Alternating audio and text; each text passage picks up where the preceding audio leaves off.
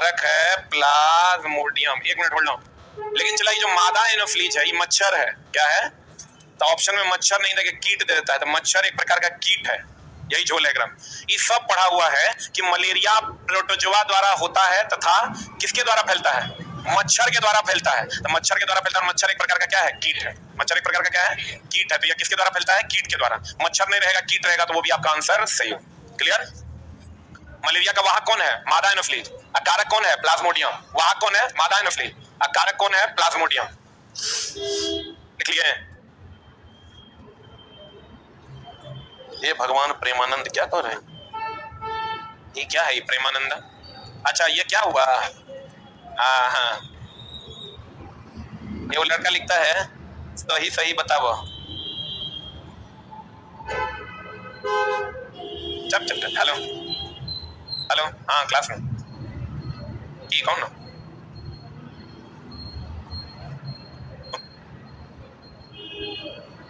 हो गया साफ़ सुथरा बात बताओ सूर्य के प्रकाश वायु इत्यादि किसका स्रोत है अक्षय ऊर्जा हम पहले भी चला बताए थे अक्षय का मतलब है जो कभी ना नष्ट होने वाला देखो अक्षय ऊर्जा को ही हम लोग नवीन ऊर्जा भी कहते हैं कौन ऊर्जा कहते हैं चला नवीन ऊर्जा कहते हैं इसी को हम लोग गैर परंपरागत भी कहते हैं ये चला, हमारे सामने में लाइन्स है ना तो तुमको बहुत आसान लगेगा। जब यही एग्ज़ाम हॉल में मिलेगा तो मामला गड़बड़ा देगा। या इसी को हम लोग प्रत्यक्ष ऊर्जा स्रोत भी कहते हैं। इस सब इसका नाम है प्रत्यक्ष ऊर्जा स्रोत भी इसी को कहते हैं। सूर्य के प्रकाश, वायु इत्यादि अक्षय ऊर्जा का स्रोत है, नवनीकरणीय ऊर्जा या गैर परंपरागत या प्रत्यक्ष ऊर्जा, सूर्य। प्रत्यक्ष ऊर्जा का स्रोत है। सूर्य केवल प्रत्यक्ष ऊर्जा का स्रोत है। हो गया? अब बताओ, तापीय शक्ति संयंत्र में विद्युत ऊर्जा को उत्पन्न करने के लिए हम लोग कोयला का प्रयोग करते हैं। कभी कभी क्या करता है चिला कोयला नहीं दे करके क्या दे देता है? जीवाश्म दे देता है। तो जीवाश्म, कोयला एक प्रकार का जीवाश्म है। तो लड़का तो खोजता है भैया एनटीपीसी पावर प्लांट है नेशनल थर्मल पावर कॉर्पोरेशन तो उसमें चला हम लोग किसका उपयोग करते हैं? कोयला का। लेकिन कोयला एक प्रकार का क्या है? जीवाश्म। क्या है? क्या है? तो कभी कभी जीवा कोयला नहीं देके क्या दे देगा ऑप्शन में जीवा तो वो भी आंसर क्या है? सही है। ये ध्यान हम चला जितना डाउटेबल सेक्शन है, वही है इसमें। अगर तुमको मच्छर नहीं देगा तो क्या आंसर होगा? की अगर तुमको कोयला नहीं देगा ऑप्शन में तो क्या होगा? जीवाश्म आंसर होगा। सही है ना?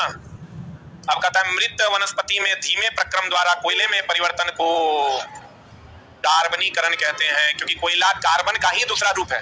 किसका दूसरा रूप है? तो मृत वनस्पति जो होता है, चला जंगल वगैरह जो बहुत पहले दब गए थे, उसी से ना कोयला बन रहा है। ये जो मृत वनस्पति के धीमे प्रक्रम द्वारा कोयले में परिवर्तन को क्या कहते हैं? कार्बनीकरण, क्योंकि कार, कोयला कार्बन का ही दूसरा रूप है। क्या कहते हैं उसको? कार्बनीकरण। क्या कहते हैं उसको? कार्बनीकरण। कोल, कोलतार, कोल गैस कोयला से प्राप्त किया जाता है। कोलतार से बनता है, चला नेप्थलीन। क्या बनता है? नेप्थलीन, जिससे हम लोग मौत भगाते हैं। क्या भगाते हैं? मौत बोले तो कीड़ा भगाते हैं। क्या भगाते हैं कीड़ा? कभी कभी क्वेश्चन पूछ देता है कि कहाँ से मिलता है? कोलतार से। जिससे हम लोग क्या भगाते हैं? मौत। क्या भगाते हैं? मौत भगाते हैं। कोल, कोलतार कोल गैस कोयला से प्राप्त किया जाता है। कोल कोलतार कोल गैस सब किससे प्राप्त किया था? कोयला। कोयला का बनना कार्बनीकरण कहलाता है। कोयला का बनना क्या कहलाता है? कार्बनीकरण। कोयला को ही जीवाश्म भी कहते हैं। कोयला को ही क्या कहते हैं? जीवाश्म भी कहते हैं। जीवाश्म भी कहते हैं। जीवाश्म की उम्र का पता लगाने के लिए कार्बन चौदह कहते हैं ना? इसका मतलब कोयले की उम्र का पता लगाने के लिए कार्बन चौदह। जीवाश्म की उम्र का पता देगा तो कार्बन चौदह सब मार देगा। अगर कोयला की उम्र का पता देगा तब भी क्या मारना कार्बन चौदह। क्या मारना है? कीटों को भगाने के लिए उपयोग किए जाने वाली नेप्थलीन की गोलियाँ। कीट के जगह पर कहीं कहीं क्या देता है? मौत। क्या देता है? या कभी कभी देगा कि कपड़ों से, कपड़ों कपड़ों कपड़ों से कीड़ों को हटाने के लिए कहाँ से चला? कपड़ों से कीड़ों को हटाने के लिए, कपड़ों से कीड़ों को हटाने के लिए किसका उपयोग करते हैं? मौत का उपयोग किया जाता है। चलिए।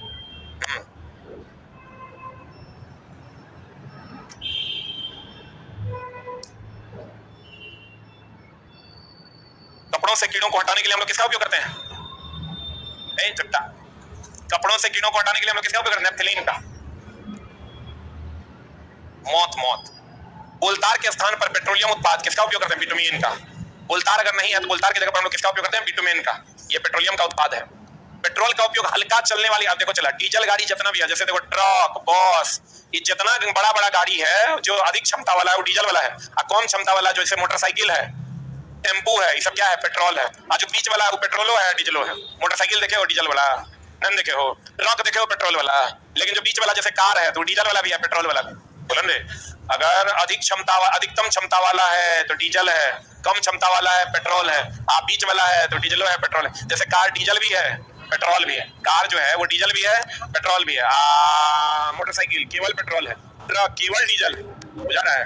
कभी ऐसा देखो कार में पेट्रोल दिए, ट्रक में पेट्रोल डालते हुए, बस में पेट्रोल डालते हुए? नहीं, लेकिन जो बीच वाला है, जितना भी कार है, वो डीजल गाड़ी भी है और पेट्रोल गाड़ी। एक चीज़ का और ध्यान रखिएगा, एक नंबर गियर अगर लगेगा, एक नंबर गियर में बल आघूर्ण बल आघूर्ण, अधिक गति कम ये देख लो एक मिनट होल्ड ऑन अगर चार नंबर या पाँच नंबर गियर लगेगा, पाँच नंबर गियर लगेगा तो इसमें बल आघूर्ण कम गति अधिक। बोलो, अब रुको। हम लोग जो चढ़ान पर चलते हैं, किस पर चलते हैं? चढ़ान पर चलते हैं तो उसमें एक नंबर गियर लगाते हैं। तो हमको बल ज़्यादा मिलता है, और गति क्या मिलता है? कम। और अगर पाँच नंबर गियर लगाते हैं तो बल आघूर्ण कम मिलता है, और गति अधिक मिलता है। चलो इसलिए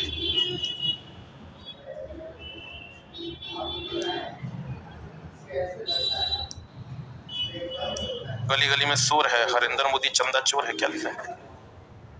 हरिंदर मोदी कौन? अच्छा अभी जो चंदा वाला बात सब आया है उसके लिए। बाप तेरह सौ, चौदह सौ करोड़ का चंदा लोग बॉन्ड खरीद के दिया लेकिन जो दिया चला ना, उसके साथ बहुत धोखा हो गया भाई। धोखा क्या? बात पता है तुम लोग को क्या है? ये मुद्दा ये है कि सरकार ने एक नियम निकाला कि भैया, अगर आप किसी भी राजनीतिक पार्टी को चंदा देना चाहते हैं, किसको चंदा देना चाहते हैं? राजनीतिक पार्टी को अगर आप चंदा देना चाहते हैं, मान लीजिए एक्स नाम की कोई राजनीतिक पार्टी है या वाई नाम की राजनीतिक पार्टी है, और आप किसी को इसको चंदा देना चाहते हैं तो आप डायरेक्ट उसके अकाउंट में नहीं दीजिए एक इलेक्ट्रल बाउंड जो है, वो बेचा एस के थ्रू एस ने कहा कि भैया, आप हमको अगर मान लो एक लाख रुपया देते हो तो हम आपको एक गुप्त नंबर देंगे। एक बॉन्ड टाइप का देंगे। एक लाख रुपया के बदले हम आपको एक बॉन्ड देंगे इशू करेंगे। वो बॉन्ड आप किसी भी राजनीतिक पार्टी को दे दोगे वो जब मेरे पास लेके आएगा तो हम उसको एक लाख रुपया दे देंगे। इसी टाइप का कुछ है। मेरा भी आधा अधूरा ही नॉलेज है, लेकिन है लगभग यही टाइप यही बात है। कि अगर एफबीआई ने मान लो एक बॉन्ड इशू किया एक लाख रुपए का तो वो एक लाख रुपया जो है एफबीआई कहती है आप हमको दे दीजिए। और वो आ, उसके बाद एक बॉन्ड देंगे हम आपको। वो आप जिस राजनीतिक पार्टी को दे दीजिएगा वो राजनीतिक पार्टी मेरे पास आएगी तो हम उसको एक लाख रुपया दे देंगे। क्लियर और सरकार ने कहा कि भैया हम आपका डेटा डिस्क्लोज नहीं करेंगे। और ना ही हम आपसे कोई टैक्स इनकम टैक्स तो लगता नहीं है राजनीतिक पार्टी के चंदे पर तो ना ही कोई इनकम टैक्स का मामला होगा। ठीक ना? आप कैश भी जमा करवा सकते हैं इसी टाइप का कुछ है। तो उसमें क्या हुआ कि लोगों ने दे दिया। जैसे मान लो कि हमको फलना पार्टी से लगाव है तो हम फलना पार्टी को भैया हम इतना पैसा थोड़ा दे रहे हैं। तो दे रहे हैं तो पार्टी के अकाउंट में डायरेक्ट आप नहीं जमा कर सकते उसके लिए कुछ प्रोसेस था। अब चलो लोगों ने दे दिया, किसी ने एक हज़ार करोड़, किसी ने तेरह सौ करोड़, किसी ने तीन हज़ार करोड़, दो हज़ार, ऐसे ही लोगों ने जमा किया। अब जमा करने के बाद सरकार ने कहा था कि भैया इसका किसी का भी डेटा डिस्क्लोज नहीं किया जाए। किसने कितना दिया और किसको दिया? ठीक, गुप्त रखा जाएगा। लेकिन सुप्रीम कोर्ट ने इस पर एक्शन ले लिया कि नहीं। जो पैसा आप दिए हैं, जब पैसा सब दे दिया था। कि भैया इलेक्शन कमीशन को आदेश कर दिया गया और एफबीआई को आदेश कर दिया गया कि आपने, आपसे जिन्होंने जितना का इलेक्ट्रल बॉन्ड खरीदा है, आप सबका डेटा डिस्क्लोज कीजिए कि किसने कितना का खरीदा है। और हो सकता है ये भी सामने आए कि किस पार्टी को दिया है। ये जब सामने आ जाएगा किसने कितना चंदा किसको दिया है। हमको लगता है इसमें ये सबसे तो बढ़िया चला ये था कि कहीं पर एम्स भी बड़ा अस्पताल खुलता कहता इसमें आप चंदा दीजिए। लेकिन उसमें कोई नहीं देगा, क्योंकि राजनीतिक पार्टी को देने से फ़ायदा है, राजनीतिक रूप से उसको लाभ पहुंचेगा। इसलिए तो दिया कि भैया देखो, हम इतना दे दिया हानि मुनि हमने उस टाइप का मामला था। मामला ऐसा हुआ कि साला दिया है काटो तो खून नहीं वाला स्थिति है। अब सुप्रीम कोर्ट का आदेश है, कोई एसबीआई को अपने वेबसाइट पे डालना पड़ा, चुनाव आयोग को अपने वेबसाइट पे डालना पड़ा है। अब सब देख रहा है कि कितना दिया था। पूरा फ़ाइल लेकर स्टडी कर रहा है सब। बड़ा समस्या है, बेचारा सब अभी परेशान है। देखो, चला, पेट्रोलियम का निर्माण, किसका निर्माण? आई एक आध करोड़ ने दिया है। एक एक आदमी तेरह तेरह सौ करोड़ दिया है। अरे बाप रे बाप। अच्छा चला बात हमारा कोई दस करोड़ दे देगा तो हम फेवर नहीं करेंगे। लक्ष्मी किसको अच्छा नहीं लगता है? अगर हमको एक सौ करोड़ कोई दे दे हमको अगर कोई काम मान लो देना हो दस आदमी में किसी एक आदमी तो हम क्या देंगे? ऑब्वियस बात है दे देंगे। सौ करोड़ हमको दिया है। दिया है कि नहीं? ये तो चला साफ़ ही ना गड़बड़ बात हो गया रे हाँ? बताओ यार। कहता है पेट्रोलियम का निर्माण समुद्र में रहने वाले जीव से हुआ है। देखो चला, पेट्रोलियम का निर्माण समुद्र के जीव से हुआ, एक बात। लेकिन कोयले का निर्माण वनस्पतियों से हुआ। कोयले का निर्माण किससे हुआ? वनस्पति से हुआ। पेट्रोलियम का निर्माण समुद्र में रहने वाले जीव से हुआ। सही है। बोलो ने। कोयले का निर्माण हुआ पेड़ पौधों और वनस्पतियों से। कोयला का निर्माण किससे हुआ? कोयला का निर्माण हुआ वनस्पति से। किससे? अब बताओ, कोयला जितना अधिक समय तक रहेगा, उतना अधिक उष्मा देगा। जलने के बाद उतना अधिक उष्मा देगा। उसमें कार्बन की मात्रा भी ज़्यादा होगी। अब प्रदूषण कम होगा। बोलो अगर कार्बन की मात्रा ज़्यादा होगी तो प्रदूषण क्या देगा? कौन? सबसे बढ़िया कोयला है एंथ्रासाइड सबसे खराब कोयला पीट विश्व का सबसे पहला तेल कुआँ, पेनिसिल्वेनिया, अमेरिका में 1859 में हुआ था। पेट्रोलियम देखो, चला। यहाँ पर बच्चा को बड़ा डाउट रहता है। हम लोग पेट्रोलियम को द्रव सोना भी कह देते हैं। पेट्रोलियम को क्या कहते हैं? कोयला काला रहता है, इसलिए काला सोना। अभी जानो, इसको द्रव सोना ठीक है, लेकिन पेट्रोलियम और कोयला दोनों को मिला के काला सोना कहा जाता है। इसमें बच्चा बड़ा कंफ्यूज होता है। एक होता है सफ़ेद स्वर्ण, एक होता है काला सोना। दो प्रकार का सोना, हरियर पीला नहीं होता है। एक होता है, चला, सफ़ेद स्वर्ण। सफ़ेद स्वर्ण होता है, प्लेटिनम। कौन चला? प्लेटिनम और काला सोना में खाली कोयला नहीं है। कोयला और कौन है? पेट्रोलियम। कोयला और कौन है? पेट्रोलियम। सफ़ेद स्वर्ण जो है, सफ़ेद स्वर्ण में कौन कौन है? कौन कौन है? प्लेटिनम लेकिन पेट्रोलियम और कोयला, बच्चा ये जानता है कुछ कुछ किताब में मिस्टेक से लिखा हुआ है चला, कि पेट्रोलियम को द्रव सोना कहते हैं और कोयला को काला सोना कहते हैं, लेकिन कभी कभी द्रव सोना भी दे देता है। तो दे देगा तो पेट्रोलियम को द्रव सोना मान लेना है। बुलंदे अगर काला सोना ऑप्शन में नहीं है तो लेकिन अगर सम्मिलित रूप से कहिएगा तो पेट्रोलियम और कोयला दोनों को हम लोग क्या कहते हैं? काला सोना के नाम से जानते हैं। और सफ़ेद सोना किसको कहते हैं? प्लेटिनम पेट्रोलियम और कोयला को कौन सोना? काला सोना। पेट्रोलियम और कोयला को काला सोना। सफ़ेद स्वर्ण किसको कहते हैं? प्लेटिनम प्लेटिनम को एडम उत्प्रेरक भी कहते हैं। क्योंकि इसकी खोज एडम साहब ने की थी। पेट्रोलियम को एडम उत्प्रेरक के नाम से जानते हैं।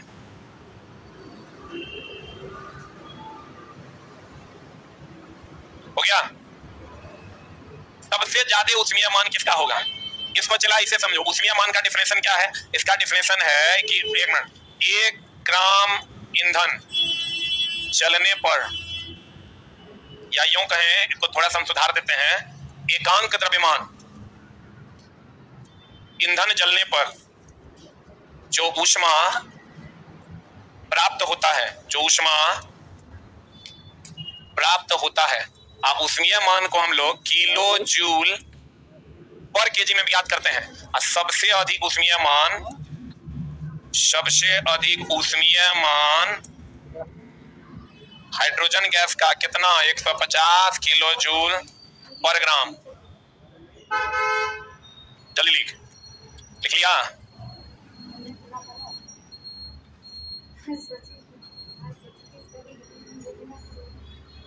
सबसे अधिक उष्मीय मान किसका होता है? गैस का। क्योंकि गैस जला, गैस हाइड्रोजन गैस है ना, वो। हाइड्रोजन क्या है? गैस। एकांक द्रव्यमान के ईंधन को जलाने पर जो उष्मा प्राप्त होती है, उसी को क्या कहते हैं? उष्मीय मान। किलो जूल पर किलोग्राम में। या या इसी को हम लिख सकते हैं किलो जूल प्रति ग्राम में भी व्यक्त करते हैं। किलो जूल प्रति ग्राम या किलो जूल प्रति किलोग्राम में व्यक्त किया जाता है। एक बात बताओ चला। ज्वलन ताप और उष्मीय मान में अंतर है। ज्वलन ताप बताओ, कोयला से ज़्यादा गर्मी मिलता है तुमको कि एलपीजी गैस से? इसका मतलब ये हुआ कि इसका मिटा दें। अरे हुआ। जल्दी लिखो मैडम। अरे हुआ। पगला ही कि रे देखो चला उष्मीय मान सबसे ज़्यादा गैस का और सबसे ज़्यादा गैस में किसका? हाइड्रोजन का। इसमें कोई डाउट है क्या? लेकिन ज्वलन ताप सबसे ज़्यादा होता है ठोस, यानी किसका? कोयला का। बताओ, सब जलने के बाद जो ताप निकलता है, उसी को कौन ताप कहते हैं? ज्वलन ताप। आज सबसे कम किसमें होता है? गैस बोलो हाँ। सबसे ज़्यादा ज्वलन ताप किसमें है? ठोस में। और सबसे कम किसमें है? गैस में। लेकिन उष्मीय मान सबसे ज़्यादा किसका? गैस का और सबसे कम किसका? ठोस का। बोलो हाँ। लिख लिया। मैग्नीशियम जल। यहाँ मैग्नीशियम जल कर एमजीओ ऊष्मा और प्रकाश देता है। मैग्नीशियम जो है चला, वो जलता है। एमजी O2 की उपस्थिति में जब चलेगा MgO प्लस ऊष्मा प्लस क्या देगा? प्रकाश। एनसीआरटी का क्वेश्चन भी है डायरेक्ट Mg जब O2 से विक्रिया करता है तो MgO प्लस ऊष्मा प्लस क्या देता है? प्रकाश। वह न्यूनतम ताप, जिस पर कोई चीज़ में आग लगता है, उसे हम ज्वलन ताप कहते हैं। कौन ताप कहते हैं चला? वह न्यूनतम ताप, जिस पर कोई पदार्थ जलने लगता है, उस ताप को हम लोग कौन ताप कहते हैं? ज्वलन ताप। देखिए अब देखो चला। हमने क्या कहा? सबसे अधिक उष्मीय मान उष्मीय मान जो एक एकांक द्रव्यमान जलने पर जो मान देता है, उसे कौन मान? उष्मीय मान। और जो गर्मी मिलती है, उसे कौन ताप? ज्वलन ताप। ये है चला, ज्वलन ताप वह न्यूनतम ताप जिस पर कोई पदार्थ जलने लगता है, उसे हम लोग कौन ताप कहते हैं? ज्वलन ताप। लास्ट पॉइंट अब देखो चला, अभी तक हम लोग ये पढ़े कि माचिस की तिल्ली पर लाल फॉस्फोरस पढ़े कि नहीं? माचिस पर पहले एंटीमनी ट्राइसल्फाइड पोटेशियम क्लोरेट और श्वेत फॉस्फोरस का मिश्रण होता था। वर्तमान में माचिस पर केवल एंटीमनी ट्राइसल्फाइड एवं क्या होता है? पोटेशियम क्लोरेट होता है। तथा लाल फॉस्फोरस लगा रहता है। बोलेंगे अगर तुमको कंपाउंड अगर लाल फॉस्फोरस के अलावे कहेगा तो एंटीमनी ट्राइसल्फाइड और पोटेशियम क्लोरेट और क्या? पोटेशियम क्लोरेट का उपयोग करते हैं। जबकि माचिस को रगड़ने वाली सतह पर कुछ कांच एवं ये ये ये वाला जो भाग है, ये वाला, ये ये वाला भाग पर कांच एवं कौन फॉस्फोरस होता है? लाल फॉस्फोरस कौन फॉस्फोरस ताप में वृद्धि या रगड़ होने पर लाल फॉस्फोरस श्वेत फॉस्फोरस में परिवर्तित हो जाता है। इसीलिए तो पीली रोशनी के साथ जलता है। हमने कहा, चला फॉस्फोरस दो प्रकार का होता है। अगर आप पढ़े होंगे, फॉस्फोरस दो प्रकार का होता है। एक होता है, चला लाल फॉस्फोरस। एक होता है श्वेत या पीला फॉस्फोरस। लाल फॉस्फोरस कहाँ होता है? माचिस। माचिस में। हम लोग अभी तक पढ़े हैं माचिस की तीली में। लेकिन माचिस के रगड़ने वाले भाग पे मुख्यतः कौन फॉस्फोरस होता है? लाल। ये होता है, चला हड्डी में। कहाँ पर? हड्डी में। ये स्वतः नहीं जलता है। स्वतः नहीं जलता। इसलिए अस्थाई क्यों अस्थाई छोटा अस्थाई होता है, क्योंकि जलता नहीं है, ये अपने जलने लगता है, इसलिए अस्थाई यह 40 डिग्री सेंटीग्रेड पर स्वतः जलता है, स्वतः जलता है। इसलिए अस्थाई क्यों अस्थाई अस्थाई होता है। इसलिए क्या होता है? अस्थाई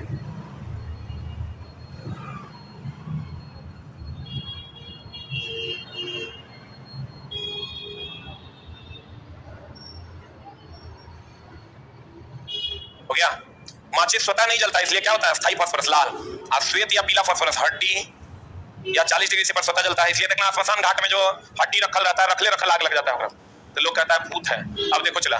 लाल फॉस्फोरस जब जलेगा तो जलेगा तो वो पीले रोशनी के साथ जलता है, इसीलिए उसको हम श्वेत या पीला फॉस्फोरस कहते हैं। आपको कहेगा, माचिस की तिल्ली में होता है, कौन फॉस्फोरस लाल। आज जब वो जलने लगेगा तो कैसा व्यवहार करेगा? श्वेत या पीला फॉस्फोरस की तरह व्यवहार करता है। लिखिए लिखिए लिखिए। हाथे नहीं चलता है। हो गया। अब देखो, कहता है, ताप में वृद्धि या रगड़ होने पर लाल फॉस्फोरस श्वेत फॉस्फोरस में परिवर्तित हो जाता है। आग बुझाने वाले कार्य। आग बुझाने वाले कार्य। आग बुझाने वाले कार्य। आग बुझाने वाले कार्य। एक मिनट।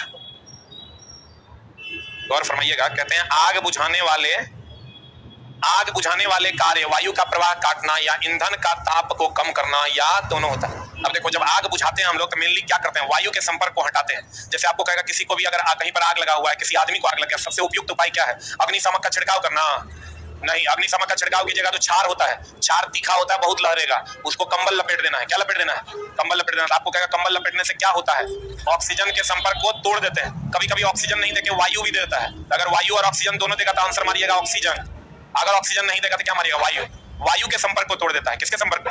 अगर हम कंबल लपेट देते हैं तो वायु के संपर्क को तो तोड़बे करता है और साथ ही साथ कहता है, कार्य में वायु का प्रवाह काटता है। आग बुझाने वाले का कार्य वायु के प्रवाह को काटना या ईंधन के ताप को कम करना या क्या होता है दोनों? कहेगा ए एंड बी बोथ तो लड़का मारेगा हाँ वायु के प्रवाह को काटना, नहीं, ईंधन के ताप को भी क्या करता कम जैसे ही वायु के प्रवाह को काटेगा, वैसे ही ईंधन का ताप क्या हो जाएगा, कम बोलेंगे तो कहते हैं, इसका मतलब जब भी हमको आग बुझाना है मतलब वायु के प्रवाह को क्या करना है? रोकना। और खास करके किसका? ऑक्सीजन का। अगर कहेगा, आग के लिए आवश्यक है। आग के लिए आवश्यक है। ऑप्शन में एगो दे देगा, चला तोरा तत्व। दूसरा दे देगा, यौगिक। और तीसरा दे देगा, मिश्रण। क्या मारिएगा? आग के लिए आवश्यक है ऑक्सीजन। कौन आवश्यक है? तो छोटा रे ऑक्सीजन आवश्यक है तो ऑक्सीजन क्या है? यौगिक है। वायु क्या है? मिश्रण क्या मारिएगा? क्या मारिएगा? यौगिक इज़ राइट आंसर जल्दी लिख। हाँ जी। नौकरी चला सबको चाहिए पढ़ना किसी को नहीं। तो अब कहता है कि सर वीडियो अवेलेबल करवा दीजिए। वीडियो अवेलेबल करवा दीजिए। हाँ? अरे यार हमको ये नहीं समझ में आता कि तुरा में इतना डिसिप्लिन नहीं है कि तुम पढ़ सको टाइम से। तुम छोटा क्या पढ़ेगा? हो गया? जिसको जो बोलना है, बोले। मेरा जो रूल है, हम उसी हिसाब से पढ़ाएँगे। वो लड़का कहता है ये तो ब्लैकमेलिंग हो गया। अच्छा पढ़ाते हैं, अगर की मतलब है? ब्लैकमेल कीजिएगा। हाँ करेंगे। हम करेंगे, एकदम नहीं देंगे। पढ़ना है तो टाइम से आके पढ़ो। कहता है चला, हमारा लिए नहीं है। तुम देखो, जब अगर लाइव क्लास को हम जो बिना रिकॉर्डेड रिकॉर्डेड ना अवेलेबल की बात किए हैं, तब से तुम कितना सिंसियर हुआ है? लगता है कि कंटेंट मिल रहा है तो चलो पढ़ लेते हैं। हमें लगता है अच्छा अभी परीक्षा में दो महीना है जी। आग के लिए आवश्यक है चला ऑक्सीजन को हटाना। अगर ये नहीं रहता तो ये सेकंड ऑप्शन आपका क्या हो जाता? वायु। क्योंकि वायु का एक पार्ट ऑक्सीजन है। वायु का एक पार्ट क्या है? ऑक्सीजन सभी प्रकार के आग बुझाने के लिए हम लोग लगभग किसका उपयोग करते हैं? सीओ टू किसका उपयोग करते हैं? सीओ देखो, आग चार प्रकार का मेनली होता है। आग कितने प्रकार का होता है? आग चला चार प्रकार का होता है। एक होता है क्लास ए एक होता है क्लास बी एक होता है क्लास सी एक होता है क्लास डी चार श्रेणी में आग को बांटा गया है देख लो। एक में होता है ठोस में लगी आग इसमें होता है द्रव में लगी आग इसमें होता है गैस में लगी आग हाँ, इसमें होता है बिजली से लगी आग। बोलो ने ठोस में लगी आग में हो गया इसका एग्ज़ाम्पल कोयला। लकड़ी इसका एग्जांपल हो गया डीजल पेट्रोल इसका एग्ज़ाम्पल हो गया एलपीजी आई तो बिजली से लगी आग। याद ना रहे तो याद रखो ए बी सी ठोस द्रव गैस। और डी हो जाएगा बिजली से लगी आग। जल्दी लिख। ए बी सी श्रेणी ए का श्रेणी बी का श्रेणी सी का ठोस में लगी आग, द्रव में लगी आग, गैस में लगी आग। बिजली से लगी आग हो जाएगा डी की आग। बिजली से लगी आग किसकी आग हो जाएगी? डी की आग।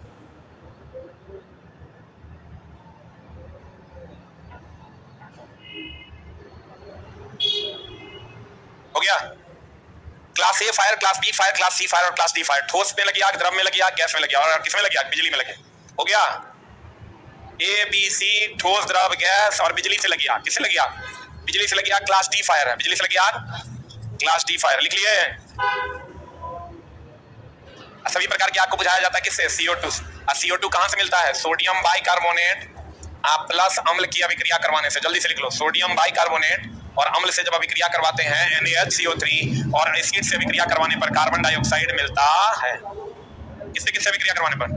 NaHCO3 प्लस एसिड देखो, चला। दहन का सबसे बाहरी भाग दहन का सबसे गर्म भाग कौन? बाहर वाला, उससे कम मध्य वाला, उससे कम आंतरिक वाला। सबसे बाहर वाला भाग सबसे ज़्यादा गर्म, उससे अंदर वाला उससे कम सबसे अंदर वाला सबसे कम। आपको कहेगा, फ्लेम जो होता है, आग जो होता है, मोमबत्ती की आग उसमें सबसे बाहर गर्मी सबसे ज़्यादा उससे अंदर, उससे कम, सबसे अंदर, सबसे कम। लेकिन वही अगर आपको रंग का कह देगा तो सबसे बाहर में कौन हो जाएगा? नीला। उससे अंदर में पीला सबसे अंदर में काला। डिबरी वगैरह अगर जलाए होंगे तो आप देखे होंगे, सबसे अंदर वाला रंग कैसा होता है? काला। सबसे बाहर, सबसे अधिक तापमान अगर कह देता है क्वेश्चन लिख लो सब पूछता है क्वेश्चन सबसे अधिक ताप याद न रहे तो नया वाला जो गैस सिलेंडर हम लोग खरीद के लाते हैं, उसमें कैसा रंग दिखता है? नीला। तो हम कहते हैं, बड़ा बढ़िया है, बड़ा बढ़िया हीट दे रहा है। हो गया? सबसे अधिक ताप कौन देगा? नीला। अब बाहरी भाग की अंदरूनी भाग। कौन भाग? बाहरी। बाहरी भाग का ताप सबसे अधिक बताओ उसमें मान का सही मात्रा कभी तुरंत बताए थे किलो जूल पर केजी या किलो जूल पर ग्राम। ऐसा ही मात्रा हो जाएगा किलो जूल पर के सबसे अधिक उसमें मान हाइड्रोजन का, यानी गैस का कि द्रव का? गैस का ना ज्वलन ताप सबसे अधिक किसका? ठोस का, यानी कोयला का कि एलपीजी का? कोयला का तो कहते हैं सल्फ़र एवं नाइट्रोजन। ऑक्साइड के कारण अम्लीय वर्षा होती है। सही की गलत? SO2 एंड NO2 यूपीएससी 2023 का सवाल है इस वक्त यूपीएससी 2023 में यही क्वेश्चन एकदम सड़ा हुआ क्वेश्चन है, वो यही था। बाकी तो कथन और निष्कर्ष वाला क्वेश्चन पूछता है वो। लेकिन वो जो नॉर्मल क्वेश्चन था, वो यही था SO two and NO two SO two या एनओ टू या वाला नहीं होगा, क्या वाला होगा? एंड वाला। कहते हैं, चला सल्फ़र और नाइट्रोजन ऑक्साइड के कारण अम्लीय वर्षा होती है। ज्वलनशील पदार्थ का उष्मीय मान ज़्यादा और ज्वलन ताप कम। ज्वलन, जैसे देखो, गैस, हम बोले थे क्या तुमको? उष्मीय मान सबसे ज़्यादा किसका? उसमें मान सबसे चला वो जमाना है कि जब कथन और निष्कर्ष वाले प्रश्न पूछे जाते हैं। अगर आप सही तरीके से जान लीजिएगा तो कथन निष्कर्ष वाला बन जाएगा, नहीं तो नहीं बनेगा। गैस सबसे ज़्यादा द्रव, उससे कम ठोस, सबसे कम ज्वलन ताप क्या होता है? ज्वलन ताप सबसे ज़्यादा किसका? ठोस का। उससे कम किसका? द्रव नहीं द्रव का। सबसे कम गैस का। तो जिसका उसमें मान सबसे ज़्यादा होता है, उसका ज्वलन ताप सबसे कम। उष्मीय मान ज़्यादा तथा ज्वलन ताप कौन? ज्वलनशील पदार्थ का उष्मीय मान ज़्यादा होगा तो ज्वलन ताप क्या होगा? सही की गलत? अगर उष्मीय मान ज़्यादा है तो ज्वलन ताप क्या है? कौन? बोलन दे। लिखिया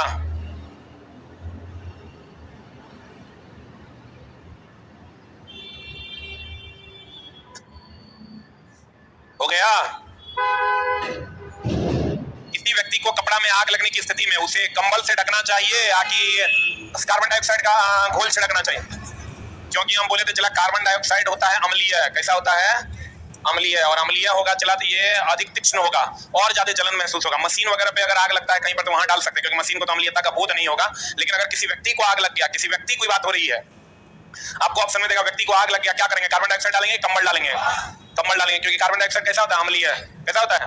अम्लीय है। और कहते हैं कि भैया, चीटी अगर मधुमक्खी का डंक मार दिया तो छार डालेंगे क्या अम्ल? अम्ल। मधुमक्खी के डंक में चला ऑलरेडी अम्ल आता है फॉर्मिक एसिड और अम्ल डाल दोगे तो बढ़ जाएगा। छार डालना होगा। छार में भी दुर्बल छार डालना होगा, क्योंकि छार तीखा होता है। और दुर्बल छार कौन है? NaHCO3 के NaOH NaHCO3 NaOH प्रबल छार है। कौन छार है? लिख लो, मधुमक्खी के डंक मारने पर मधुमक्खी के डंक मारने पर फॉर्मिक एसिड फॉर्मिक एसिड मांसपेशियों में चला जाता है। फॉर्मिक एसिड मांसपेशियों में चला जाता है। जिसको कम, जिसको उदासीन करने के लिए,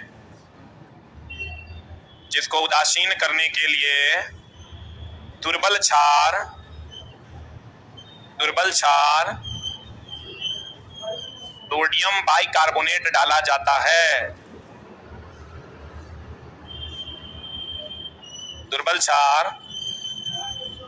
सोडियम बाइकार्बोनेट डाला जाता है। ना कि सोडियम हाइड्रोक्साइड। या लिख लो सोडियम हाइड्रोक्साइड नहीं डाला जाता है। सोडियम हाइड्रोक्साइड नहीं डाला जाता है। चला किसी मशीन में अगर आग लग जाए तो हम लोग कार्बन डाइऑक्साइड डाल सकते हैं। लेकिन चला, अगर किसी व्यक्ति में आग लगे तो क्या करना है? कंबल से ढक देना तो उससे क्या होगा? एक तो ऑक्सीजन के संपर्क से हटेगा, और दूसरा ईंधन का ताप क्या करेगा? कम करेगा। तो कहते हैं, किसी व्यक्ति को के कपड़ा में आग लगने की स्थिति में उसे कंबल से ढकना चाहिए, या ना कि अग्निशमक का उपयोग। इसमें उपस्थित अम्ल क्षार त्वचा के लिए क्या है? तब पता चला कि व्यक्ति में आग लग गया, वहाँ से उस सिलेंडर उठा के स्प्रे मार दिया। साला बबरायर बबरायर काटेगा। वहाँ रख लिया सिलेंडर इन्हें भी रखल होगा। तो चला, पता चला कि अब डाल दिया डाल दिया तो आदमी जो है गड़बड़ा जाए क्या करना है उसको? कंबल से तत्काल उसको ढक देना चाहिए। अगर कंबल कहेगा कंबल नहीं मिलेगा तब, सर, किसी भी कपड़े से ढक देना, ताकि ऑक्सीजन का संपर्क किसी मतलब पॉलिस्टर से नहीं ढक देना। लड़की के कपड़ा तो एकदम नहीं यूज़ करना है। इसलिए कि लोग सूती वस्त्र कम और पॉलिस्टर नाइलॉन ज़्यादा पहनते लड़का सबके शर्ट सूती वस्त्र होना चाहिए, क्योंकि सबसे कम ज्वलनशील कौन वस्त्र है? सूती। वनोन्मूलन का अर्थ है, वनों के स्थान और आवास अन्य कार्य का कहता है वनोन्मूलन का अर्थ है, वनों के स्थान पर। आवास या अन्य कार्य का होना। तो लड़का कहता है वनोन्मूलन मतलब घर बन जाना। नहीं, बहुत सारा अन्य कार्य भी है जो उसके जगह पर होता है। आपको देखा वनोन्मूलन का अर्थ है, आवास का बन जाना या अन्य कार्यकलाप होना। दोनों, आंसर करेंगे दोनों। क्योंकि ज़रूरी नहीं घरे बनेगा, चला, फैक्ट्रियाँ भी लग सकती है। अन्य कार्यकलाप भी होगा, तब भी वनोन्मूलन किया जाता है। वनोन्मूलन में भूजल स्तर में भी कमी आएगी कि वृद्धि होगी? आएगी, भूजल स्तर में कमी आएगी। वन्य जंतु अभ्यारण राष्ट्रीय उद्यान, जैव मंडल, संरक्षित क्षेत्र, इत्यादि पौधे एवं जंतुओं के लिए संरक्षित व सुरक्षित क्षेत्र है। कहता है, किसी विशेष क्षेत्र में पाए जाने वाला पेड़ पौधा एवं जंतु को क्रमशः वनस्पति जात एवं प्राणी जात कहते हैं। अगर कोई जंतु ऐसा है जो विशेष क्षेत्र में पाया जाता है या कोई भालू ऐसा है जो विशेष क्षेत्र में, कोई हाथी ऐसा है जो विशेष क्षेत्र में पाया जाता है तो वैसे जीव को हम वनस्पति जाति या क्या कहते हैं? प्राणी जात कहते हैं। जहाँ वन्य प्राणी सुरक्षित एवं संरक्षित रहता है, इन्हें वन्य प्राणी अभ्यारण्य कहते हैं। जहाँ पर वन्य प्राणी सुरक्षित एवं संरक्षित रहेगा, उसे वन्य प्राणी अभ्यारण्य कहते हैं। रेड डेटा हैंडबुक जानते हो ना? किसका इसमें संग्रह है? केवल जीव जंतु का कि पेड़ पौधा का? लड़का मारता है जीव जंतु क्वेश्चन पूछता है कि बता रेड डेटा हैंडबुक में लुप्त प्राय जीव का ही डेटा नहीं है, पेड़ लुप्त प्राय पेड़ पौधे का भी डेटा है। बोलेंगे इसको चला हम अपनी किताब में अगर एक जगह दे देंगे तो बच्चा एक बार देखेगा और क्वेश्चन में गलती नहीं करेगा। कहते हैं रेड डेटा पुस्तक में सभी प्रकार के लुप्त प्राय जीव जंतु एवं पेड़ पौधा, लेकिन थोड़ा क्वेश्चन देगा तो मारेगा जीव जंतु धाए धाए अभी थोड़ा बहुत आसान लग रहा है, चला जब ऑप्शन में जाइएगा तो पता चलेगा। रेड डेटा हैंडबुक में जीव जंतु जो लुप्त हो रहे हैं, उसका भी डेटा है, और पेड़ पौधे जो लुप्त हो रहे हैं, उसका भी डेटा उपलब्ध है। तो कहते हैं, प्रवासी पक्षी का प्रवास भोजन की कमी एवं बदलते मौसम के कारण होता है। देखो, चला, प्रवासी पक्षी का जो प्रवास होता है, देखना, अधिकतर, किसी खास समय में अलग अलग जगहों से पक्षियाँ आती है। आती है। हम लोग अगर मार मार के खाते हैं है ना? तुम देखना अलग अलग जगह से, गुजरात से या अन्य जगहों से किसी खास समय में पक्षियाँ इधर आती है। क्योंकि पक्षियों के नष्ट होने का मूल कारण भोजन की कमी तो है ही, बदलता मौसम भी। दो कारण है। अगर पक्षियाँ अपना प्रवास बदलती है, प्रवासी पक्षियाँ, प्रवासी पक्षी का प्रवास, जो प्रवास होता है प्र का मतलब होता है दूसरे जगह। दूसरे जगह जो जाकर वो वास करती है, उसका मूल कारण दो है, वो भोजन की कमी, और दूसरा बदलता मौसम। ठीक है? भोजन की कमी होगी, तब भी वो एक जगह से दूसरी जगह जाएगा। अब मौसम बदल जाएगा, जो ठंडे प्रदेश में रहना सुरक्षित मानता है, वहाँ गर्मी आ जाएगी तो वो फिर किधर की ओर चला जाएगा ठंडे प्रदेश? क्लियर आपको कहेगा, प्रवासी पक्षी एक जगह से दूसरे जगह अपना प्रवास बनाती है, एक तो भोजन की कमी से, और दूसरा बदलते मौसम से। प्रत्येक शुक्राणु में कोशिका के सामान्य संगठक पाए जाते हैं। हर शुक्राणु में कोशिका के सामान्य संगठक ये जाना, जान लो, शुक्राणु और अंडाणु एक कोशिकिया है कि बहु कोशिकिया है? एक कोशिकिया। शुक्राणु और अंडाणु एक कोशिकिया है। कभी कभी चला क्वेश्चन पूछ जाता है एक्स क्रोमोजोम और वाई क्रोमोजोम में किसका जन्मता है यही मिलेगा सब जगह। लेकिन कौन सा क्रोमोजोम बड़ा है और कौन सा क्रोमोजोम छोटा है? कौन सा? एक्स बड़ा है और वाई छोटा है। कौन बड़ा है? एक्स बड़ा है My family doctor introduced me to Invisalign. Invisalign played a major role in boosting my confidence. भाई होगा तो बेटा। अब बेटा बेटी होता है, बाप के कारण की, माई के कारण। क्लियर है ना? इसलिए अगर तेरा बेटा होगा या बेटी होगा, इसका कारण कौन है? कौन? तू खुद होगा। ठीक है मेरे वो चला, भैया है। उस शुरुए से कहते थे ना कि हमको ये को संतान होगा, दूसरा नहीं होगा। एकदम जब बेटा हो होगी, बेटी तो ये को बेटा हो गया ये को बेटा हो गया, सब समझाने लगा, ये को बेटा कहीं मर गया था। फिर उसको चाह, हम बात तो ठीक है, कह रहा है, उसकी पत्नी बोली, नहीं, अगर मर गया तो हमारा ये काम देगा हमारे वातावरण बचाने का, हमें ठिका मिलल है। पॉपुलेशन बचाने का, हम ही एगो ठिका लिए हैं। तो बोला, नहीं नहीं एगो और होने दो। एगो और होने दो तो एगो ओकरा हो गया, फिर बेटी। फिर बोला, नहीं बेटे हो गया दू गो फिर अगल बगल के लोग सलाह दिया, नहीं, घर में अगर लक्ष्मी नहीं आई तो फिर क्या है? फिर एक बार और फिर एगो ओकरा बेटे हो गया। हमने कहा, चौथा भी होना है कि तो चला प्रत्येक शुक्राणु कोशिका में सामान्य संगठक पाए जाते हैं। सामान्य मतलब जनरल संगठक, हर शुक्राणु का साइज़ लगभग जनरल होता है। लेकिन अगर जनरल कोशिकाओं में उपस्थित एक्स वाई और एक्स एक्स गुणसूत्र के आकार की बात करोगे तो किसका आकार बड़ा? और वाई का आकार छोटा। एक्स बड़ा वाई छोटा। ये बेटा बेटी सब तो तुम लोग जानते हो बहुत बढ़िया से। अब देखो, शुक्राणु के तरह अंडाणु भी एकल कोशिका का बना होता है। किसका बना होता है? अब परख नली, शिशु में निषेचित निषेचन, बाहर तथा विकास अंदर ये चला क्या होता है? टेस्ट ट्यूब बेबी जानते हो। तो एकरा चला कहते हैं टेस्ट ट्यूब बेबी हमारे बगल में एगो हुआ है। टेस्ट ट्यूब बेबी चला अगर नहीं हो पाएगा तो एक उपाय है। लेकिन वो बच्चा जो है, हंड्रेड परसेंट मतलब स्वास्थ्यवर्धक सिद्ध नहीं होता। कोनो दिन कोपचा चल जाएगा। लेकिन लेकिन लेकिन अब उसमें बहुत सारा सुधार हुआ है तो सुनते हैं कि अब होता है ठीक ठाक टेस्ट ट्यूब बेबी जो होता है चला, उसमें निषेचन होता है बाहर।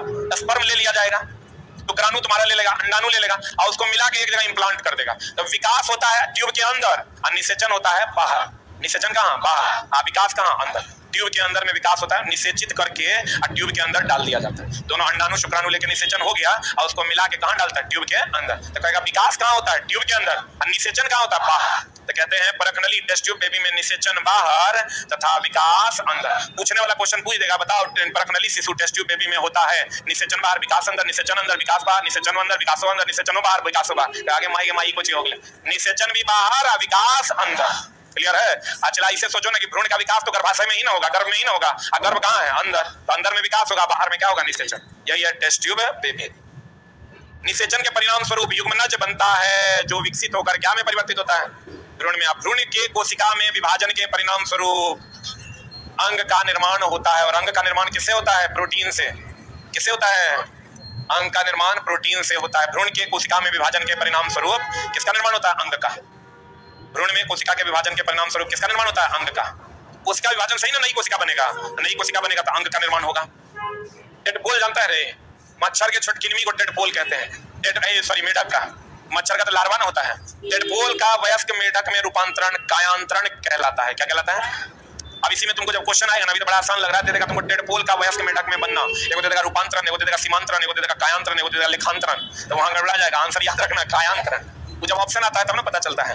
कायांतरण कहलाता टेडपोल से मेढक में रूपांतरण के लिए आयोडीन की उपस्थिति अनिवार्य है। जैसे हम लोग कहते हैं न्यूक्लियर रिएक्टर में जर्कोनियम का होना अनिवार्य है। जैसे हम लोग कहते हैं अमलगम में पारा का होना अनिवार्य है। लोहा में आयरन का होना अनिवार्य है। वैसे टेडपोल से वयस्क बनने के लिए मेढक में आयोडीन का होना अनिवार्य है। किसका होना अनिवार्य है? नाभिकीय रिएक्टर में किसका होना अनिवार्य है? नाभिक नाभिकीय रिएक्टर। किसमें चला? नाभिकीय रिएक्टर में जर्कोनियम का होना अनिवार्य है। जिंकन है। किसका? जर्कोनियम अमलगम में पाड़ा ने पारा अमलगम में पाड़ा कहता है। पाड़ा अलग प्रजाति है। अमलगम में पारा का होना अनिवार्य है। स्टील में लोहा का होना अनिवार्य है। लड़का तो काउंटर पे जा, जाओगे कभी ऐसा ऐसा बात करता है। कहता है यहाँ एलपी टेक्नीशियन का टेस्ट मराता है क्या?